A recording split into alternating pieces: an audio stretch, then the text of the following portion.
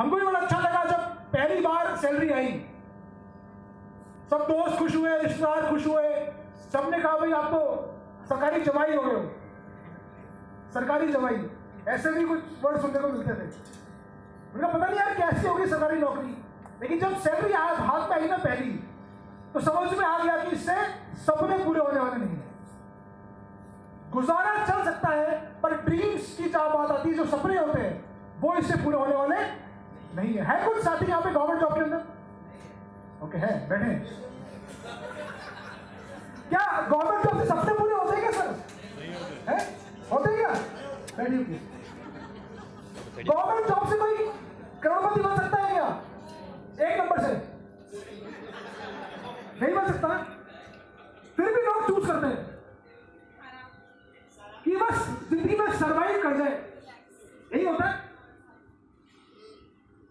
Friends वैसे ही ज़िंदगी चली जा रही थी और आज से तीन साल पहले एक शख्सियत हमारी ज़िंदगी में आए, जिनके आने से पूरी ज़िंदगी बदल गई।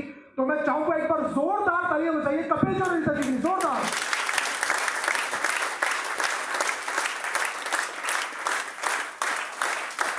जिन्होंने लाइफ में आके ये बिज़नेस बताया, ये बिज़नेस समझाया और उन सपनों को वापस निकाला जो शायद मर चुके थे। वापस उन सपनों को बाहर निकालो जो कभी बचपन में देखा करते थे।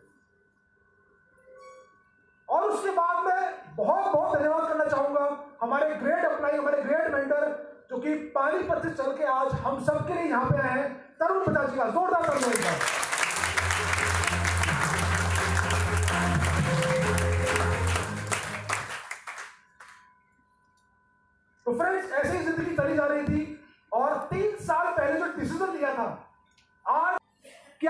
आप स्टेज पे आएँगे आपको इतनी? मालाएँ पहनाई जाएगी, इतना मान सम्मान मिलता क्या आप ज़िंदगी में कभी?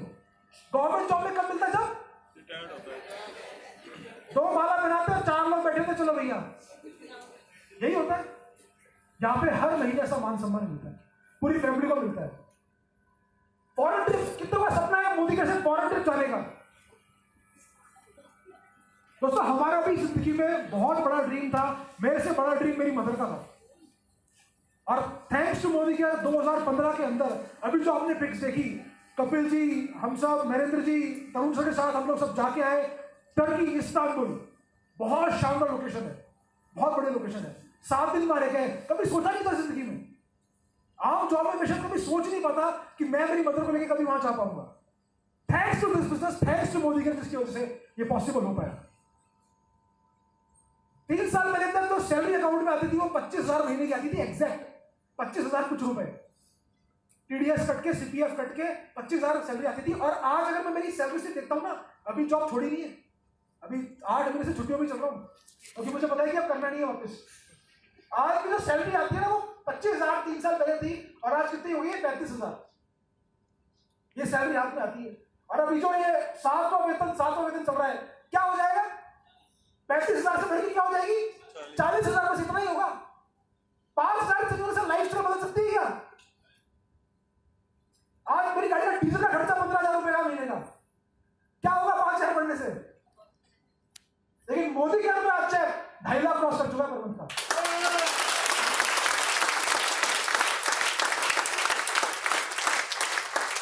और अभी तीन दिन पहले एक और गुड न्यूज़ मिली। हमारे जो एएसएम में अमित कुमार जी का फ़ोन आया। एक कॉन्टेस्ट चल था, आज़ादी बोनस फ़ोन आया तो इतनी खुशी हुई फैमिली सबको खुशी क्योंकि पता ही पता ऐसे ही हो गया। उन्होंने बताया फ़ोन करके आलोक जी आपको दो लाख साठ हज़ार रुपए अलग से आ रहे हैं, ऐसे आज़ादी बोनस के रूप में तो बड़ा इमोशनल हो गया और बहुत बहुत दिल से थैंक्स किया ऊपर वाले को कपिल सर अनिता मैडम को तरुण सर जो ज़िंदगी में आए और ये सारी चीज़ें होने लग गई है। तीन साल पहले की बात करूँ तो एक सिंपल वैगन आर ड्राइव करते थे, जो कि, जो भी मेरे फादर ने ली थी, मैंने नहीं ली थी। मेरे फादर प्राइवेट जॉब में थे, अभी रिटायर हो गए हैं। डीबी स्कूल वैशाली नगर में अकाउंटेंट थे। और सेकंड हैंड वैगन आर ली थी जो मैं ड्राइव करता था। और मेरा बहुत अच्छा एक ड्रीम था कि कम से कम एक लंबी सिडान गाड़ी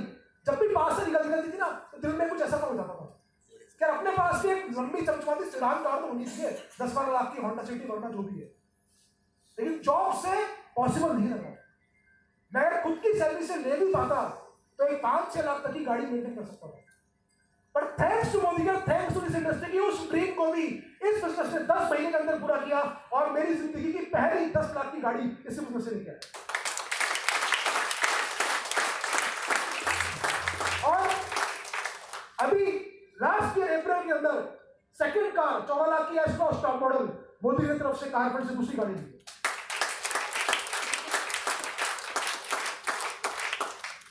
फ्रेंड्स तीन साल में सब कुछ होना, ये कहाँ पॉसिबल है? ये केवल इसी बिज़नेस में पॉसिबल है। बाहर कोई तरीका है मेरे पास? अगर मैं सिर्फ़, मैं जॉब में था, क्या मेरे पास और भी ज़रिया था? कि मैं पार्ट टाइम में कुछ करके बच्चों को ट्यूशन पढ़ा के या कोई दुकान खोल के उन सबके लिए पैसा रख सकता है? क्या मैं कर सकता था ज़िंदगी में सब कुछ? पावर है इस बिज़नेस की। कि फ्री में शुरू हो जाता है।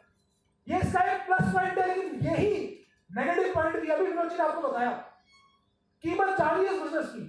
क्या दे सकता है? मुश्किल रहेगा इजी नहीं मुझे पता है। मोदी क्या सिंपल बट नॉट इजी मैं हमेशा कहता हूँ बात। कितना समझ में आ रही है बात कि सिंपल है पर इजी नहीं है। समझ में आ रही है?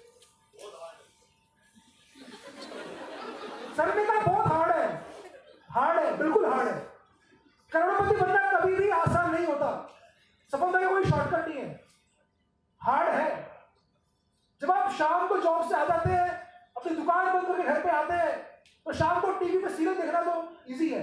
पर उस टाइम डेमो मैन लेके प्लान बुक लेके निकलना हार्ड है। इजी नहीं है। हार्ड फैमिली के साथ टाइम स्पेंड करना, आप संडे को घर पे बैठे पूरे दिन एंजॉय कर रहे हैं। और फिर दोपहर को नींद डिस्टर्ब करके घर से निकलना, कोई अपॉइंटमेंट बुक करना प्लान दिखाना हार्ड है इजी नहीं है। पर इसको जब ये बिज़नेस कब इजी हो जाता है है आपको? इजी होता है बिज़नेस हार्ड तो है, पर इजी कब होता है? जब आप इसको अपने प्रेजेंट प्रोफेशन से कंपेयर करते हैं ना, जब इसको आप कंपेयर करेंगे, अगले दिन सुबह उठ के जॉब पे जाने से तो ये इजी हो जाता है। जब आप इसको कंपेयर करेंगे अपने ट्रेडिशनल बिज़नेस के स्ट्रेस से तो ये इजी हो जाता है। अगले दिन जाकर सुबह दुकान खोलनी है स्टाफ को सैलरी देनी है बिजली का बिल आने वाला है। स्टॉक आया था, वो खराब आ गया। पचास टेंशन ट्रेडिशनल बिज़नेस की। तब ये बिज़नेस इजी हो है कि नहीं? और मुश्किल इसमें है भी तो क्या है? क्या मुश्किल है? नो लोग मना करेंगे? रिजेक्शन यही तो है और क्या है इससे ज़्यादा क्या हो सकता है आप किसी को चीज़ देने गए उसने मना कर दिया नहीं मुझे नहीं चाहिए कोई दिक्कत है हमारे घर में गेस्ट आते हैं रिश्तेदार आते हैं आप पूछते हैं सर ठंडा लेंगे गर्म लेंगे पूछते ना नहीं तो सब सब लेके आया तो बुरा लग गया? उन्होंने मना किया, बुरा लग गया? दोस्तों, कुछ चीज़ें हैं, उनको अगर हम एक्सेप्ट कर लेंगे ना तो ये काम इजी हो जाएगा।